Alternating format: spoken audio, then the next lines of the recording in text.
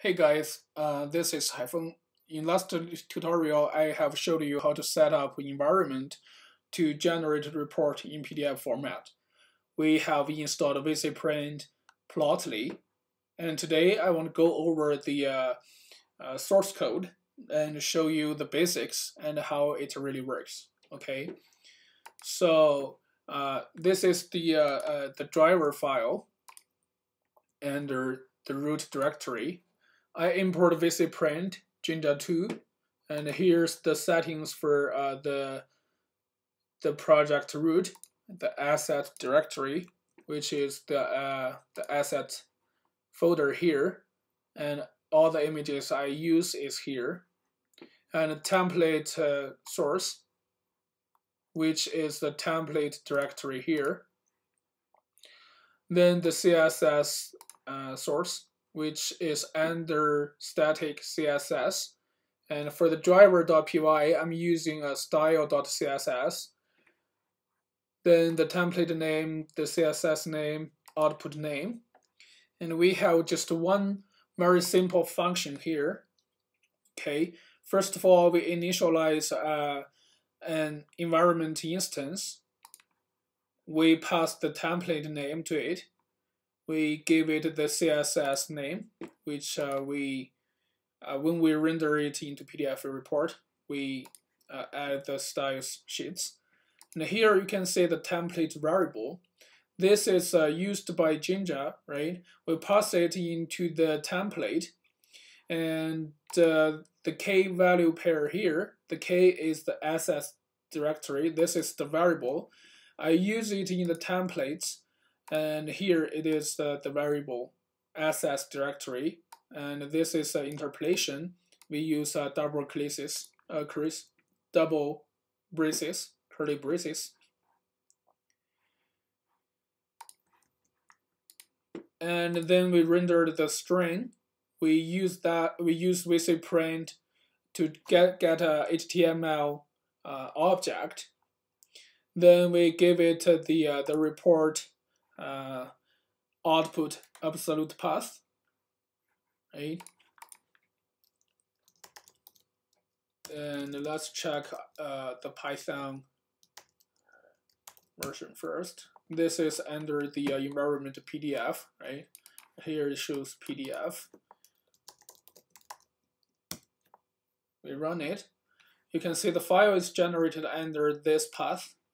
Let's uh, copy it and open the folder here.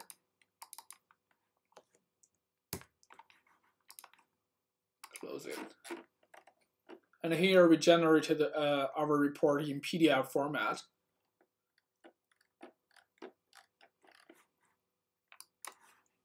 Okay, then I want to show you guys how to render the report, how to how how to render this report in WebView. Okay, there are some known issues and bugs, but uh, if we render it into web page, it will help us to debug it easily. We can change, uh, we can check the padding, margin, and uh, fonts very easily. I'll show you soon. Okay, so here under the project root, you can see there's driver py, which we just uh, we just run it and generate report in PDF. Here's another one is a flask underscore driver dot py. I show you the source here. And the uh, concept is very similar to driver.py, okay? So first of all, we assign this uh, flask underscore driver.py as the flask app, right? Then we, we run flask app here you can see uh, the, the Flask is under our PDF environment, okay? So now you can see uh, it is running under HTTP localhost host port 5000.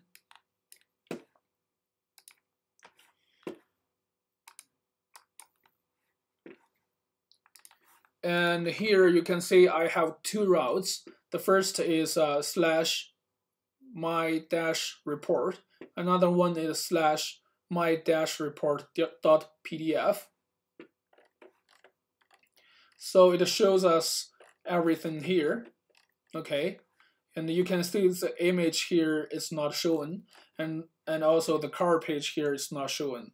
That's because we run we run our uh, app as a Flask app, and it uh, cannot uh, uh access to the uh, the files located on our uh, system. So what we're gonna do is going to the assets folder.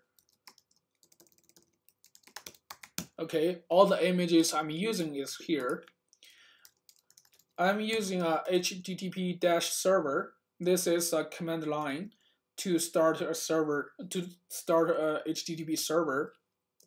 So I give it a current uh, uh, directory.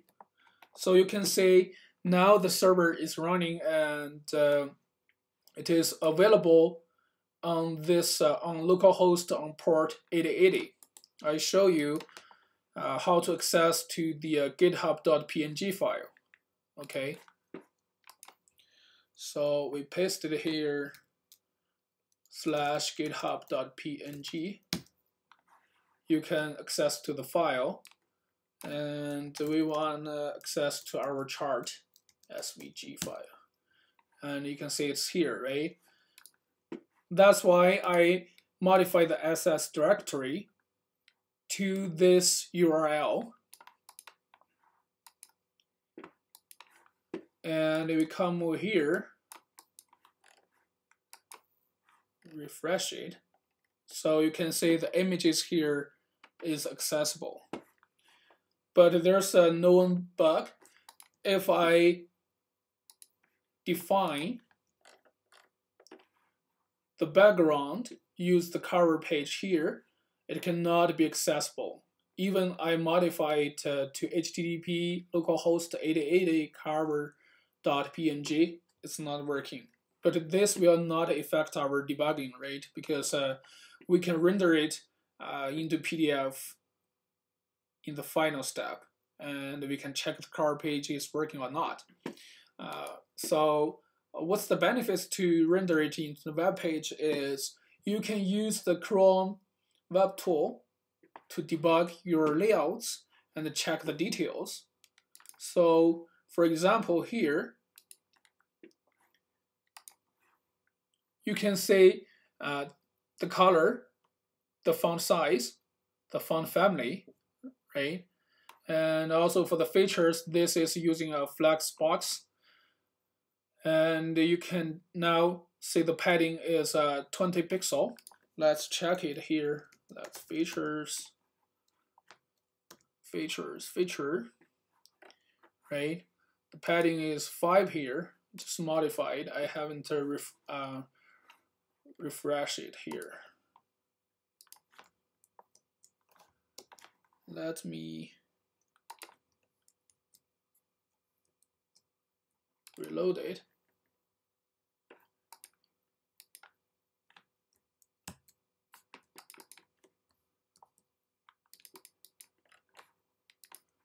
sometimes it's not working properly. Let me call reload.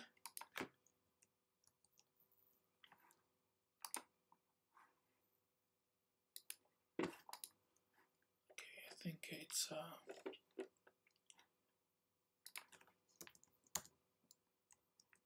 save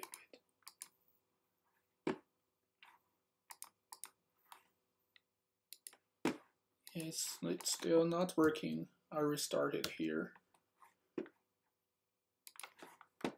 And close this page. Co-host. My report. Check the dev tool.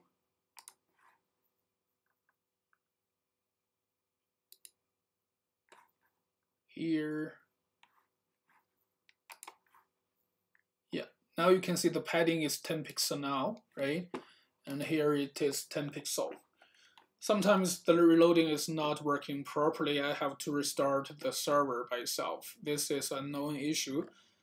And uh, yeah, that's uh, checking the uh, the margin, right?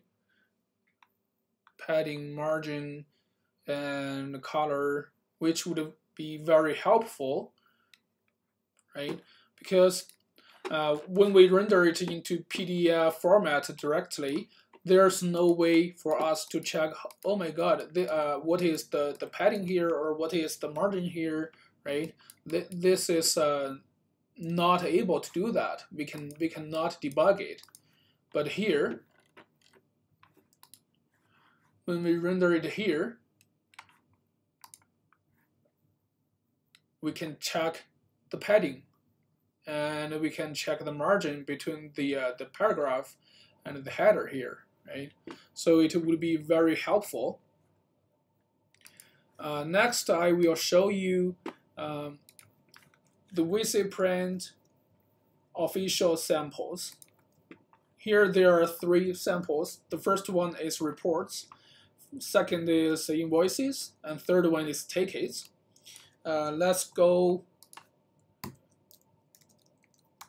to the uh, WeasyPrint projects. Let's go to ticket first, okay?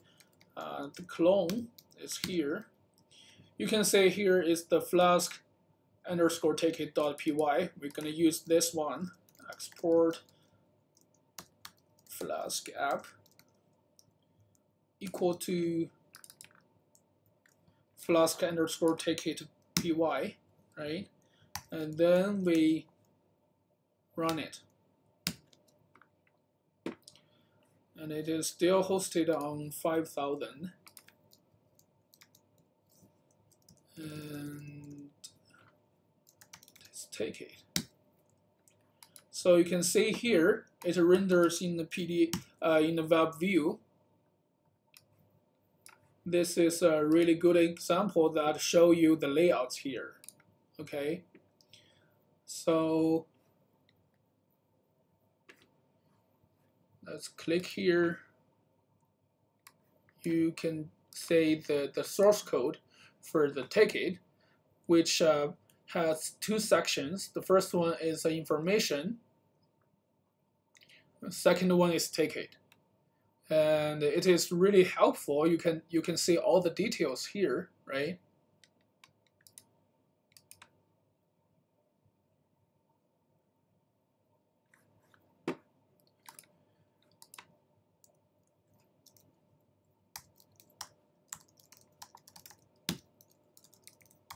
Go to WeasyPrint projects, go to ticket, that's uh, open clone.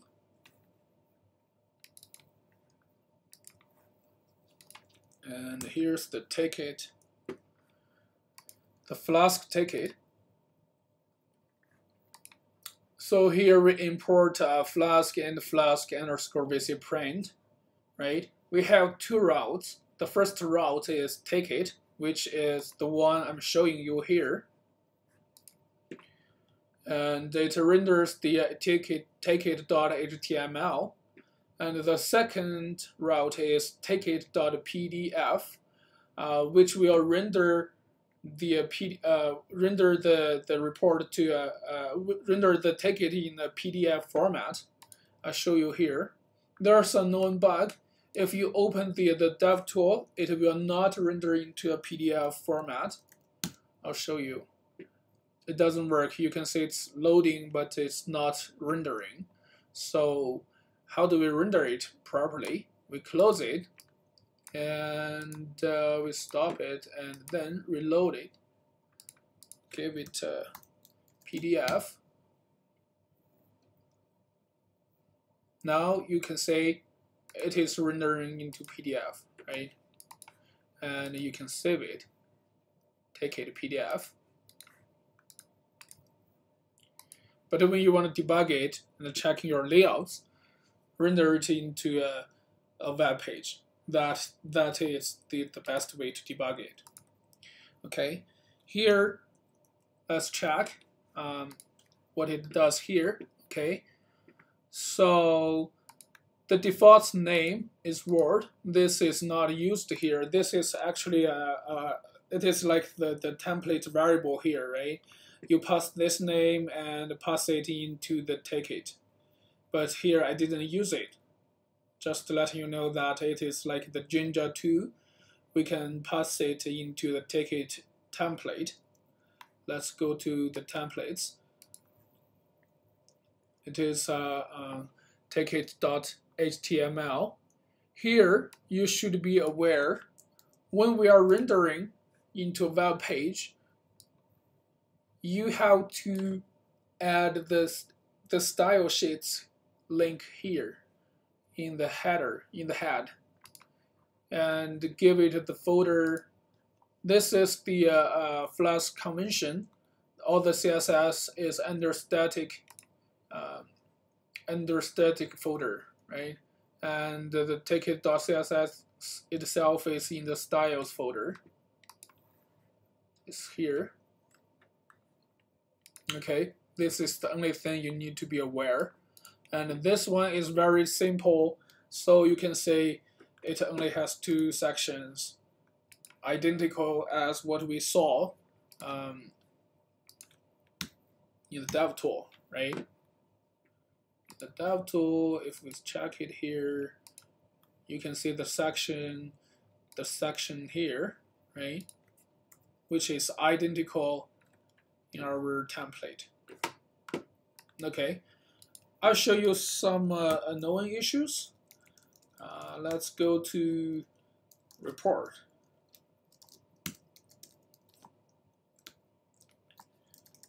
Clear here. Go to clone.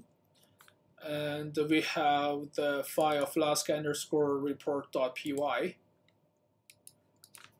let's export it and run it. Flask. Let's run it. Okay. Mm, let's open the source.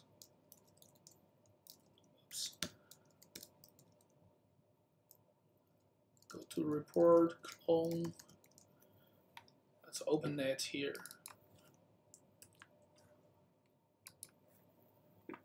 Okay, we have two routes, report and report.pdf. Let's go to report. You can see here, when we render this page, uh, it doesn't look very good.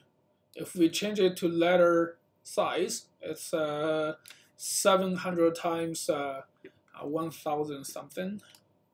I don't remember the uh, exact uh, size. Convert from uh, uh, millimeters to pixel. It is very similar. And in this way, um, you can check the layouts here. Okay. And if we close it,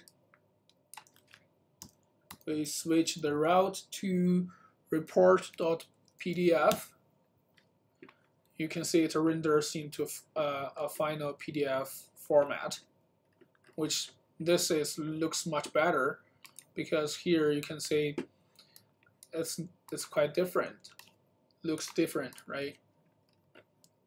This is a, a known issue. If uh, any of you guys have found a better way to render it in a PDF report, which can make it uh, identical uh, with its looks in the uh, PDF format, please leave a comment and let me know. I really want to know how, how can we um, duplicate it in the web page, okay?